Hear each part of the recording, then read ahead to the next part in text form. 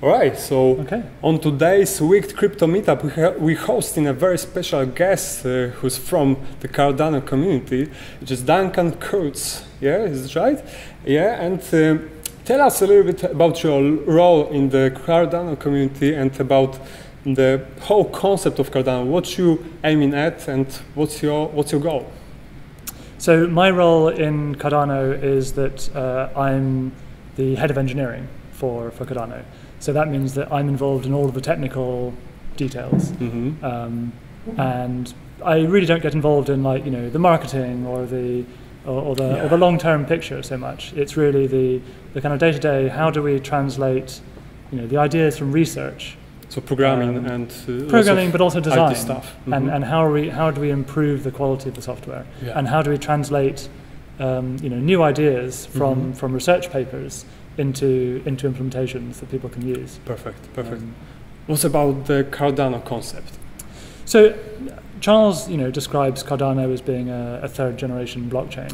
Um, Can we also But- name it as Ethereum killer, as some people claim? Not, not really. You, you have different approach. well, I don't know. I mean, maybe, maybe. Maybe. Um, but I, I don't really have a you know a good opinion on that kind of thing because Yeah, um, you know, space. I, I'm, I'm not. I'm not like Mhm. Charles, right? Charles has been doing this kind of Mhm. you know cryptocurrency building for, for years, whereas my speciality is is as a computer scientist and a Mhm. programmer, and my focus is on how do we build these things and build them correctly.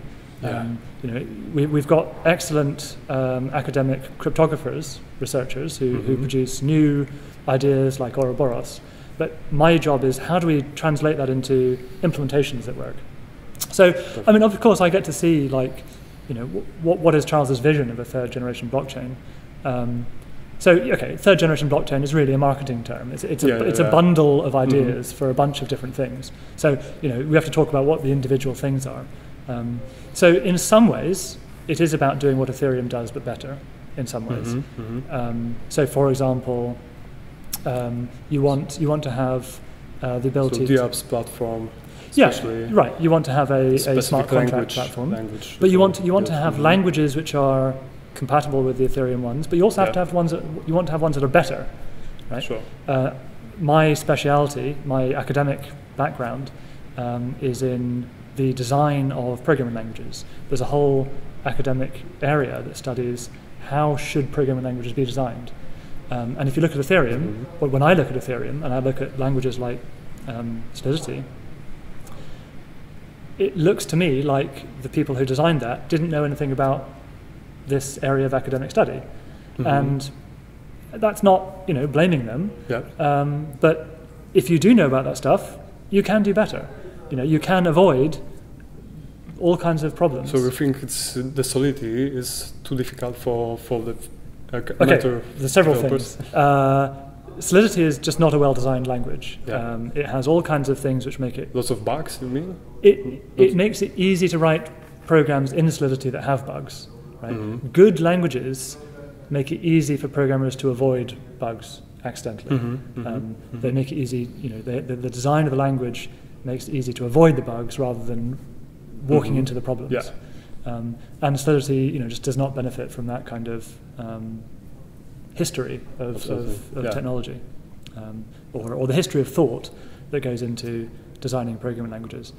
Um, so that, that's something that we are able to bring to, um, you know, to yeah. Cardano. We have many people uh, who, you know, their academic specialty is programming language design, and we have them working on designing new languages Mhm. to run on, on the Cardano uh, system so that the smart contracts that we will let people write in, in these languages will be shorter, they'll be easier to understand, they'll have fewer fewer ways of like tripping up, falling over Mhm. your, your feet, um, doing, So- doing things yeah. which cause. I mean, and you just have to look around. If you look at the Ethereum ecosystem, you see in the news all the time this smart contract got hacked, that smart contract, Yeah, all these kinds of flaws. Some of those are to do with the programmers who wrote the contract doing things badly, but some of it can be blamed on the design of the system, which made Mhm. it too easy Mhm, to mhm, do mhm. bad things. Oh, really? Um, and that's what you know the language de- design really helps with, and also actually the design of the execution platform. The EVM is modelled on the JVM, but it, it doesn't need to be. It, it, that's too complicated. Um, you should do something that's simpler and more secure. Um, and that's one of the things that we're trying to do. So Yeah. Cardano has got multiple smart contract platforms that we're developing. One is based on the EVM, um, so it, which will be Mhm. compatible. But we've also got a second platform, um, which is based on ideas of functional programming. Um, Yeah, got it. yeah. So something uh, more than just Ethereum uh, virtual machine, yeah? So you have Yes. something something extra. The, there's no need to have a virtual machine. The whole idea of a virtual machine is unnecessary. hmm Um, you need a way to run the program. You don't need a virtual machine. That's just an idea that people had Mhm, because mhm. they were familiar with the JVM. Um, but it's unnecessary. You can have things which are much simpler Yeah. that, that no one would even call a, a virtual machine. Uh, and that's what we're doing with Plutus. Uh, or Oh, Plutus, Plutus. Plutus Core Uh-huh. um, is a it is an execution platform for Yeah. smart contracts, but you wouldn't call it a, uh, a virtual machine. It's much simpler than that. Um, Got it, got it. So you have a great uh, university background when it comes to developing your product. Uh, do you find it as an advantage, or literally, how how do you find it as, as a useful tool to, to build this? Um, I, I think um, applying computer science to the design and implementation of cryptocurrencies uh, can and should have a massive benefit in terms of quality. Um, uh, I mean, I'm a big believer in open source and you know just Mhm. getting on with things and hacking, but um, you know for some kinds of problems where you really want to have a solution that everybody can trust, Yeah, um, you need to some you government, not, not to say. Right, right. You, that where the Mhm. people that you that you don't want to be exploitable by people Mhm. who you know want to want to Mhm. destroy the system, or uh, government might be one example, or or criminals, or you know anyone who Yeah. has a big incentive to try and Mhm. destroy the system. Um, you need to try and make sure that the system is designed correctly. Mhm. Um, so it's not about avoiding bugs. It's about designing the system correctly and then making sure that the implementation of the system is correct with respect to its specification. And that's that's where academic computer science really helps, um, being able to apply Yeah, yeah, mathematics. Because actually, computer programs are mathematical things, Yeah. right? Um, if you write Python or Mhm. C, you might never notice this. Um, but people who, you know, But it's already there. How to say, like the programming came from mathematics, so. Well, it's actually, this is this is very interesting. very- actually, very the the programming really comes from kind of two areas. Uh, like historically, going back to the 1960s, you've got programming uh, as an engineering Mhm. thing. You know, people built computers, and then they had to write languages to uh, to make the computers work, uh, to write programs for the computers, and they built those languages in the style in which the computers themselves worked. Yeah. And that's the engineering kind of line of, of programming languages. And that's things like C and Python and C and Java. Um, and then there's this other style, which is based on mathematics. Um, it's based on um, the, uh, the lambda calculus. Um, and yeah, it, it's, it comes from this academic approach. It used to be very impractical. Um, you know, 20 years ago, it was very impractical. Ten, 10 years ago, it Mhm. was, now, Mhm. it's, now it's fine. Um, so programs are actually mathematical things. They're mathematical objects. You can reason about programs using mathematics. You can prove that a program does what it's supposed to do using mathematics. You can't do that with C very easily, Mhm. um, but you can do it with some other languages, and Haskell is one of them. Um, Yeah. All right. or, and, and so then the idea is that you, you should specify the design of your system, of your cryptocurrency, using that kind of mathematical logic, that kind of technique, that kind of language, Mhm, mhm. and then try and show that the, the program does what it's supposed to do. Um, and that, that's, the Yeah, way to, that's the way to increase Mhm. quality. Got it, Yeah. got it. Yeah. There's like never-ending debate in the crypto sphere about which cryptocurrency is the best. Why should why should investors, the users, care about the Cardano? What's what's very unique about this product? So, so I, I make a point of never giving investment advice. Yeah. Um, but um, why, why am I interested in? Why, you know, personally for me, as a, as a you know, computer scientist and a professional programmer, uh, Why should ICOs It- choose over choose the Cardano over Ethereum? I, I, I, I don't know, but let me tell you why I Yeah. like Cardano, what, Yeah. what I think is good about it, which is that um, the, the, the people who are building it take uh, doing it right seriously. Um, and not very many companies do, actually.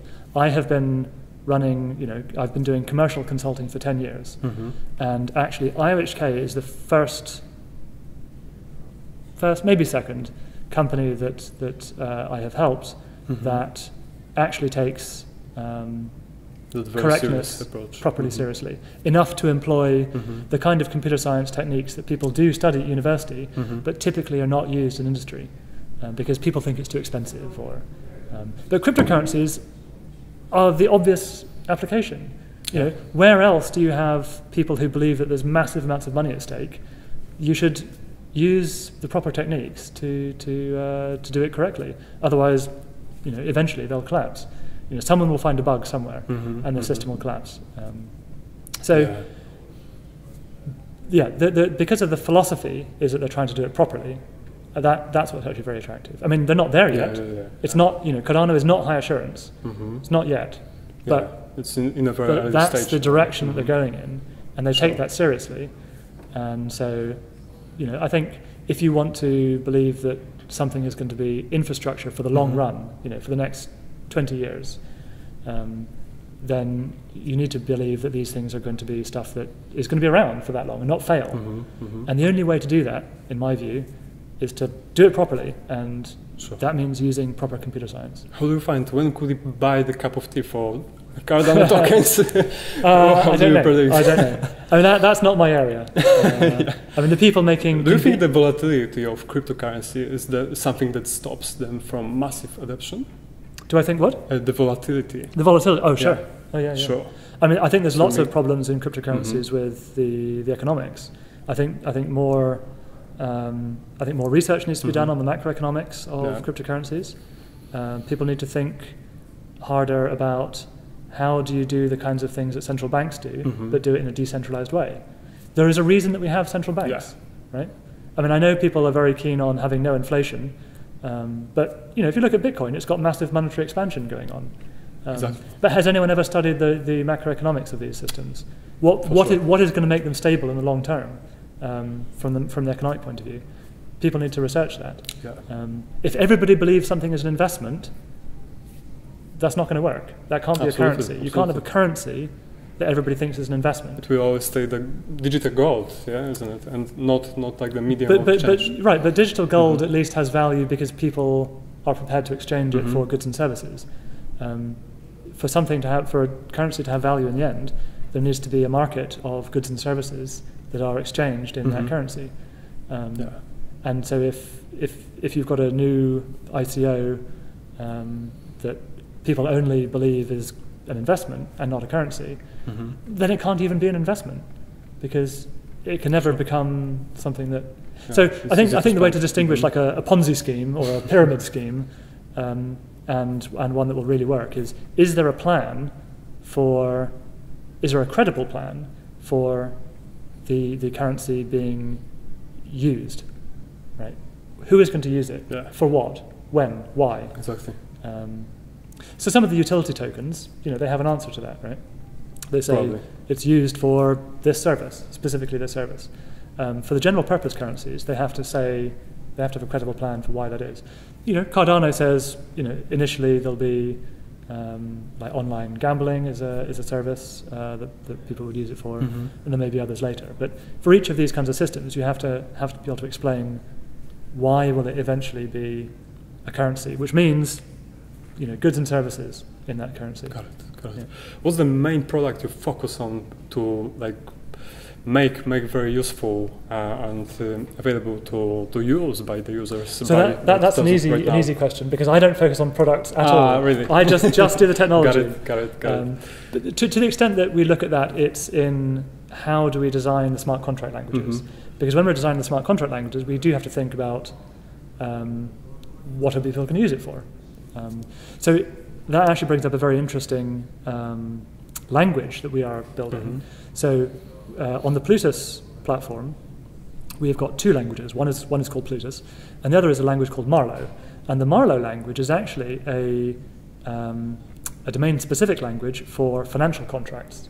So a domain-specific language means that for a particular kind of problem, a particular domain, um, you have a language which is designed specially for expressing solutions to Mhm. problems in that domain. And those programs can then be much shorter and simpler and easier to understand. So for a financial contract, a, a Marlowe program and a Plutus program would be very different. I mean, the Plutus program would be very large, well, comparatively large. The, the, the Marlowe program would be really short.